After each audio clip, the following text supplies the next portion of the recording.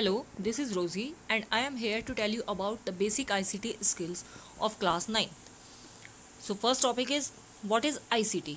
ICT that stands for information and communication technology and it play an important role in our daily life. We read uh, newspapers on computer or mobile devices or we can see movies on laptops or mobile phones and except uh, all these anything what you can do with your internet connection plus your mobile mobile or your desktop computer. That is your ICT uses of ICT in daily life. There are many fields in which we can use ICT but there uh, some major fields has been uh, mentioned here. First one is your education. In today's scenario student can use uh, ICT tools for education. They can take online classes with the help of ICT tools and uh, they can uh, they can found, uh, find any kind of content of, on over the internet. Next is your medical. In medical field today ICT is also considered as an important part. Uh, there was uh, there is a term telepathy or tele, uh, telemedicine. It means uh, when you consult to a doctor on telephone and he prescribe you the medic- medicines and all the treatment that is your telemedicine. And last one is your business. That that is considered as your online shopping also. In today's scenario you can do the shopping online in uh, on every site. Now next is your ict tools. What are the ICT tools? IT, ICT tools are digital devices that are used to communicate information with others, uh, like your mobile phones, your laptops, your, uh, your tel- uh, TV, all these things. There are two types of ICT tools. First one is your mass communication, a type of uh, ICT tool where mass communication is delivered like your press, radio, TV. And second one is your interactive ICT tools like your computers, laptops, smartphone, emails, etc. Now the next term is your com- computer system. What is computer system? Computer system is an electronic device which is you uh, which is set up with uh, different different components to perform a particular task. When we create, when we set up a uh, different different input or output devices with each other or we connect different input or output devices to each other to perform a particular task. Uh, all part of computer system can be categorized into two main components. First category is your hardware and second one is your software. Now we will discuss about hardware, what is hardware and what are the types. Hardware that are the physical parts of a computer system. We can touch, hold or carry the hardware devices from one place to another place very easily like keyboard, mouse, monitor, RAM, ROM, printer. All these are the examples of your hardware. Except these, your hard disk, your CPU, your UPS, all these also consider as your hardware devices.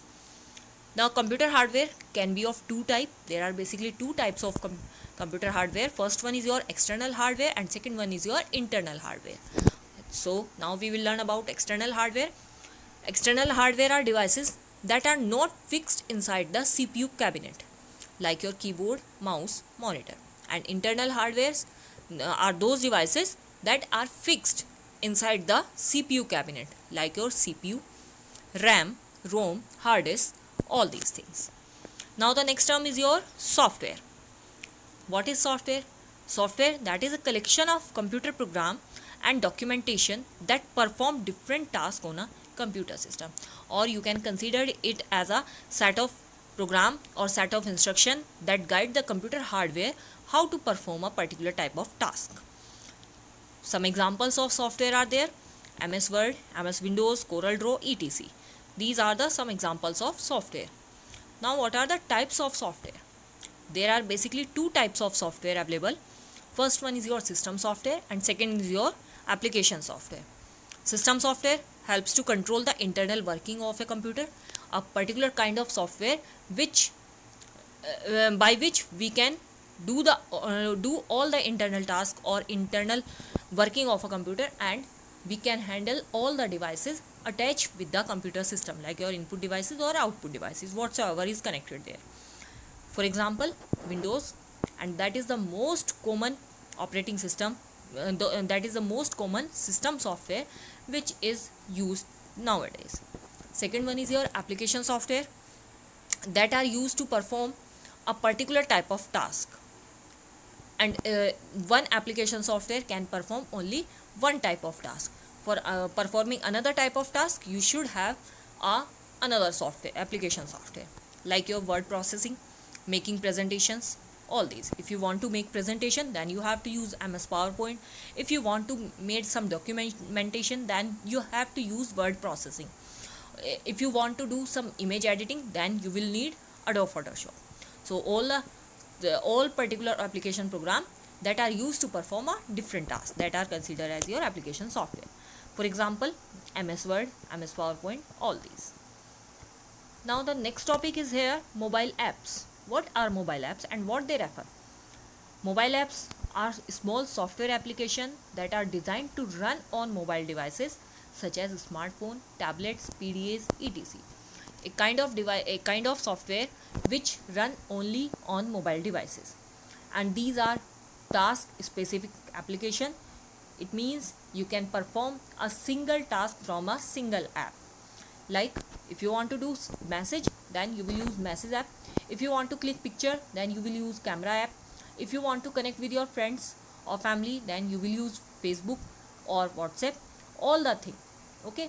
There are some uh, categories of mobile apps. The first one is your inbuilt or preloaded into your mobile. Like your camera app your message app calendar app clock all these.